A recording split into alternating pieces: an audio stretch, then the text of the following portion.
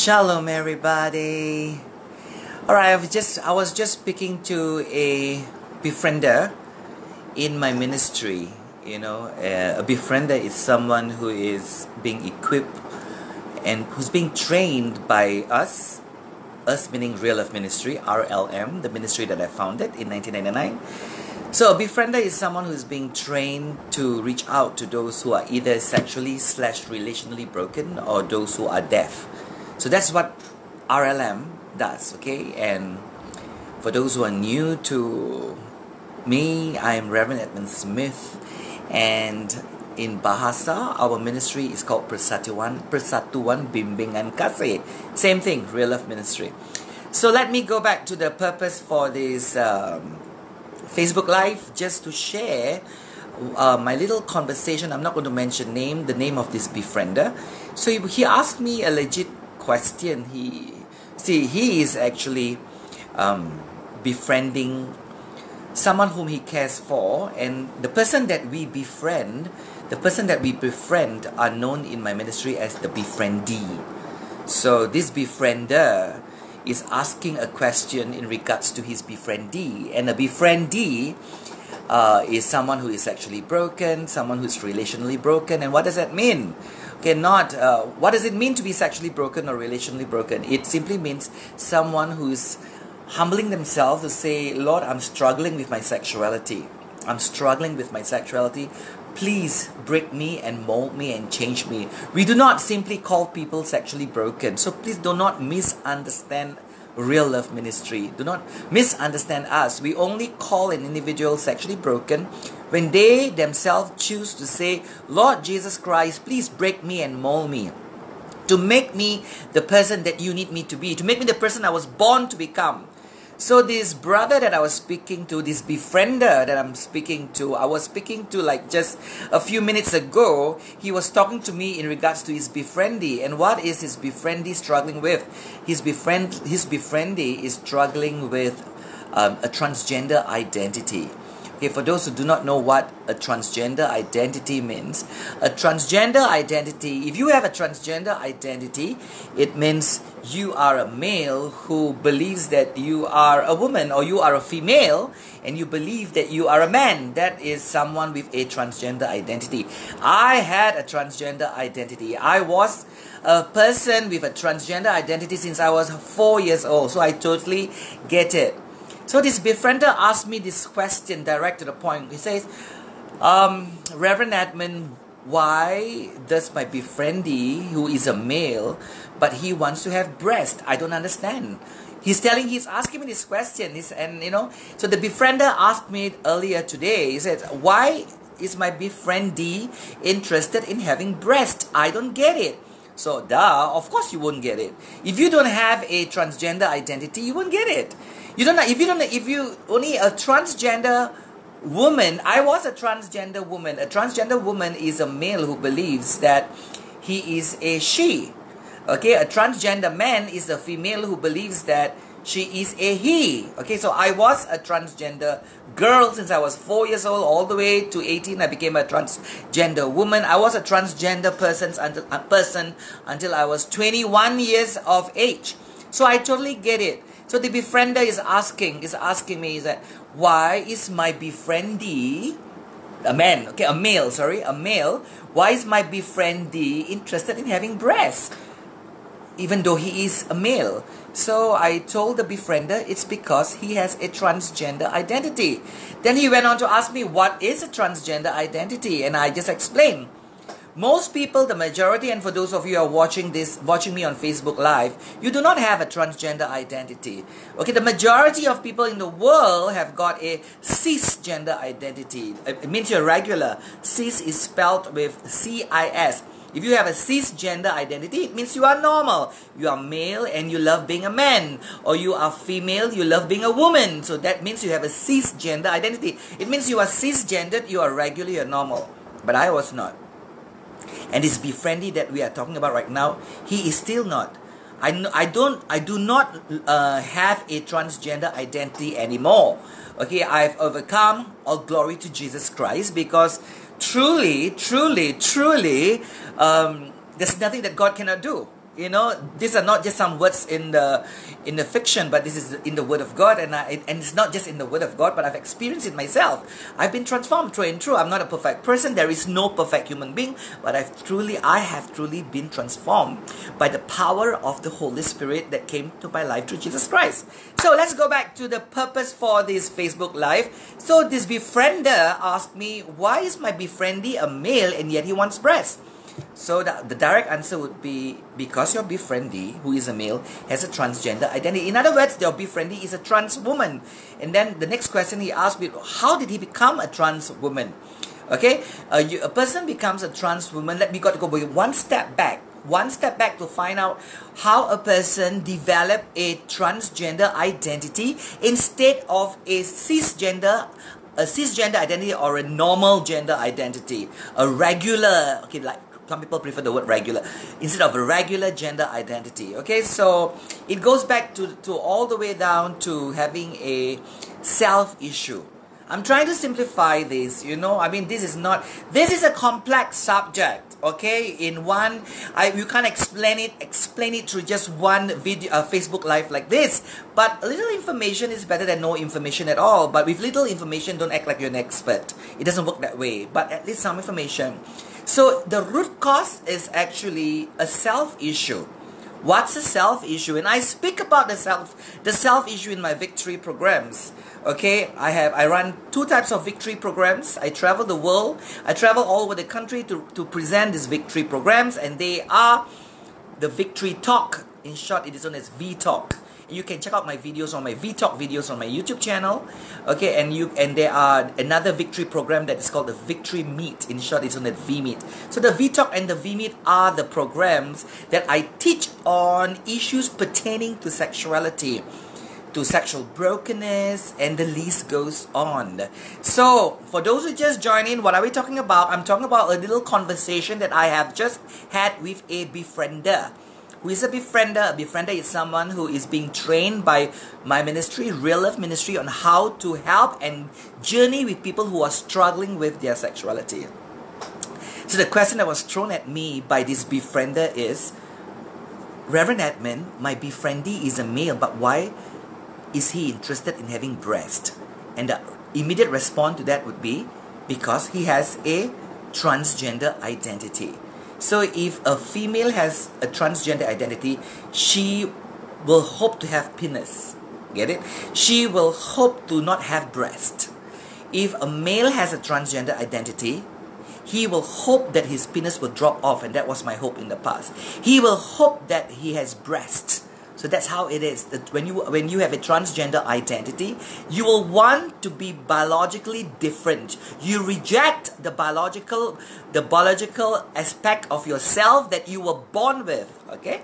So why why do some people have a transgender identity? And a simple answer would be because they have a self issue. A self issue is basically a rejection of self. I'm not saying everyone with a self issue will lead to becoming a transgender. No, no, no, no. I'm not saying that. Don't quote me wrongly. Do justice to what I'm saying. Please. Okay? So, uh, but nevertheless, if you have a self issue, you don't resolve it, you may not lead into becoming, you may not end up becoming a transgender, or you may not end up having a transgender identity, but you will end up having some problems because the self issue must be resolved. Okay, a self issue could be rejecting your gender, rejecting your nose, rejecting yourself, rejecting your ethnicity, rejecting your skin color, rejecting everything you are that God made you as whom you are to be. Uh, please remember this. We are created by a genius who is God. God is genius. God is amazing. He's superb. God worked so hard to bring my father and my mother together so that I can be born just the way I am in a similar way, in the same way. God brought you and your father and your mother together, and then you are born just the way you are. Because if, fact, I was talking to my son Ethan just few days, I think it was yesterday, yes. My wife and I were talking to my son, We are just chatting, the three of us. And, and he asked this question, he said, uh, if, if Appa married somebody else, will I be born? I said, no way. You cannot be born unless Appa and Mom comes together. and we talk about how God brought my wife from Pahang all the way to Malacca and we met and that's how he's born. So I am who I am just the way I am, my skin color, my my char- charisma, my character, my eye, brown eye color, and everything I am is because God put my father and my mother together. Yes, it has to be that way. So you are no mistake. How tall you are, how big your nose is, how small your eyes is, how dark you are, how short you are, whatever you are, you are not a mistake because God worked really hard to bring your father and your mother. God sometimes work mysteriously. Say, oh, I wish my mother is somebody. If you no, there's no way your mother can be somebody else. If that, if the other woman is is you, the, the other woman that you hoped your mother to be your mother, if she became your mother, you will not be born. Get it? So you are not a mistake. You are who you are because God wants you to be who you are. Not taller, not shorter, not fairer, not darker. So if you have any aspect of your life that you reject, and you still continue to reject it instead of embracing it and eventually celebrating it, you have a self issue. Issues go, freedom comes. Don't be a fool to hold on to your issues. Holding on to issues is like holding on to a useless garbage full of rubbish. Throw them away, resolve them. So, these self issues can be resolved. So, every transgender individual, trans man or trans woman, they have a self issue. They basically have gone through something of the past. Okay, they have gone through something of the past, can be all the way to the womb. You know, because we, we were created even before the womb. Do you know that? Because the Word of God tells us, God says this Before I put you in the womb, I created you. I created you even before I entered into the womb. But we entered into an imperfect womb and an imperfect human being carrying us for nine months. So things could happen even while we are in the womb. And that doesn't mean God created us that way. We were created by God. We existed in the spiritual realm even before we entered the womb. Get it? Alright, so things could have happened even right from the womb like a mother who wants to abort the child that can do something to the child's emotions you know what i'm saying? So yeah many things happen to us in the womb of post womb pre you know in the womb and post womb a uh, season of our lives that can cause us to actually develop a self issue a rejection of, of ourselves in this way or that way you know so the, the beautiful part of this all is that the self issues are if you're a filipino i see miriam miriam tan you're watching my old friend miriam. Yeah you're a filipino okay? I'm just using this as an example if you're a filipino and you you you reject the fact that you're a filipino that's a self issue. Say oh i'm not a filipino i am a korean or or you're a chinese oh i'm, I'm not chinese i'm japanese or whatever it is. You know you we are to celebrate the person whom god made us to be we are not a mistake because we are talking about this almighty God who is able, who is able to do all things. And we are a miracle. You, you who are watching right now this video, you are a miracle. You are not a mistake. God made you just the way you are and God put you where you are. Okay, God is amazing. So we give God the glory for making us us. Alright, so every self issues must be resolved even as we enter and entered into a new year 2021 okay one of the the goal should be this year is to resolve any remaining self issue in your life. You're an indian celebrate being an indian. God deliberately wanted you to be an indian. Get it you're a man, you're a male. There is a reason why I was born male. I hated being male. I used to curse my penis. I used to pray to God even though I was not born again, but I was younger. I used to pray to God for my penis to fall off my body. Yes, real story. Okay, but today I love my penis. Today I love my nose. I used to think my nose is ugly. My sister Helga, when we were growing up, she used to make fun of me, say, big nose, big nose. Your nose is like Debbie Gibson. Any of you heard of Debbie Gibson? Okay. Yeah, Debbie Gibson is. I used to love Debbie Gibson. She's a, she's a singer. Okay, some of you are, many of you are too young to know who's Debbie Gibson, and some are too old to know who's Debbie Gibson. Okay, Debbie Gibson one is a singer that I used to like. I think you can still Google her. Well, she had big nose, and my sister Helga used to tease me, big nose, big nose, big nose, Debbie Gibson nose, and I used to actually hate my nose because what my sister said, you know, and I used to desire to go for nose surgery, but today, no, I love my nose. I love every aspect of my being. I used to wish I was darker because I idolized Naomi Campbell as a trans girl, as a trans young woman in the past. I used to look at Naomi Campbell as my role model because Naomi Campbell and I are the same age. We are 51 this year. Okay, now so Naomi Campbell uh, career took off as a model, okay, model when she was 15. So as a 15 year old trans woman, young trans woman, I used to look at her as a role model, thinking that hey, if she's black, at that time being a black model is not common. If she's black and she can be known as beautiful and she can make it as a model, then I too, even I as I am as a, a electric youth. Somebody saying that's right, Andy George. You're right, electric, but electric youth. Um, uh, okay, let me sing. Let me think of a song that I like, uh, Andy. Probably. So I guess you're on you're on my same era. You, Andy left a comment saying "Electric Youth." That's one of Debbie Gibson's song. If I was an only child, da da da da da. If you say jump, I jump up high. If you say run, I run, da da da. That's a song I remember. I don't know the lyrics, of course. I'm just da da da da. You know, that's a song of by Debbie Gibson. And yeah, anyway, this is not about Debbie Gibson. It's about why I brought up Debbie Gibson because I used to reject my nose. I used to reject a lot of I used to reject a lot of things from the crown of my head to the sole of my feet. But you know what? I don't just accept myself today, but I went on to embrace myself. And today I tell you, not in a self-conceited way, but today I celebrate me. I celebrate me because I realize that I've been created by an amazing, super amazing God. I must be amazing. Same goes to each and every one of you. You are amazing. You're not a mistake. God made you to be who you are because God need each and every one of us to be just the way we are with our talents and our natural giftings to do what we are supposed to do on this planet. We are to be the best versions of ourselves. Try not to be somebody else. We can learn from other people, but don't be somebody else. I want to be the best version of Edmund Lawrence Smith. You, Lily. Lily just sent me a piece. I can see in the comment. Be the best version of Lily. Lily, you know, instead of being anybody else. You know, so yeah, so self issues have to go. Issues go, freedom come and also denial is fatal. If you have got self issue and you pretend like you don't have them you are being foolish.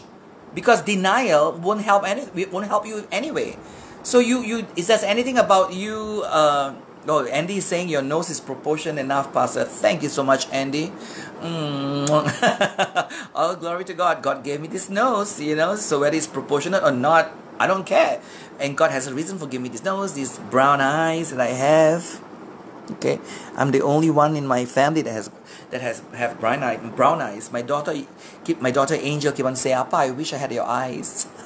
You know god has a reason for not giving her my eyes. You know my the eye color i mean. So anyway please people people of god go forth.